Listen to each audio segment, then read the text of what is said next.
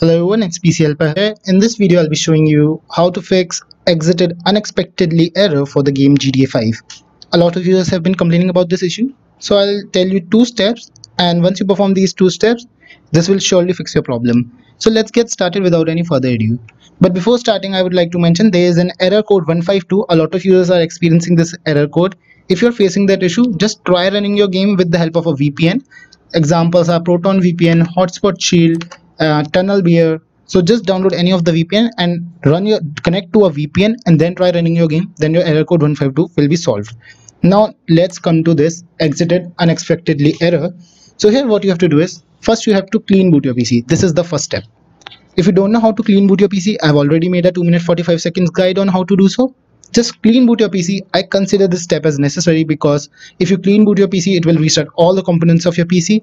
And once you have done it, you will be eh, you will be ready for the second step. Once you've cleaned to your pc come to dll-files.com i will provide you this link in the description.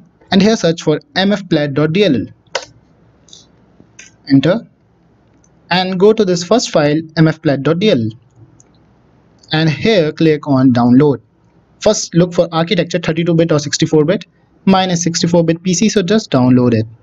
And once you download it this file will be downloaded here. Open this.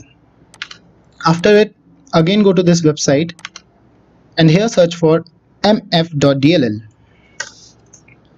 and here again go to this and under file name go to mf.dll and on this page select your architecture click on download.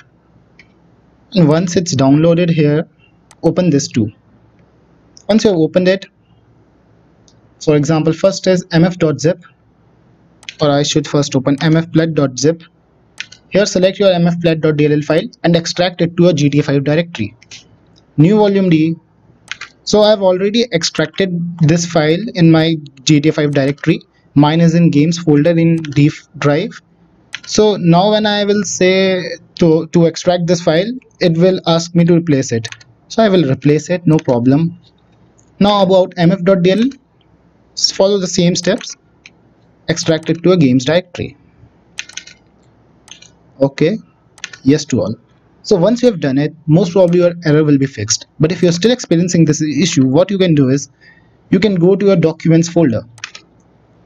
In documents folder go to rockstar games. In rockstar games look for gta 5 and what you can do is you can just delete this folder I'm not facing this issue so I won't delete it because it will also delete my saved files but if you are still experiencing this issue after first two steps then just delete this file.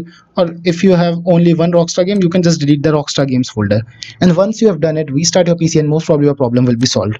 And if you're worried that your game save files will be deleted so you can back them up by going into gta 5 folders and saving one of the profile that you want to save. Or if you play online then your save files will be on cloud so no need to worry. So once you have done it your problem will be fixed most probably. But if you're still facing this problem write in the comment section. I will dig more on into this topic and will surely help you fix it. So thank you for watching this video and if you like my video please hit the like button below and also don't forget to subscribe for more. Thank you and have a nice day.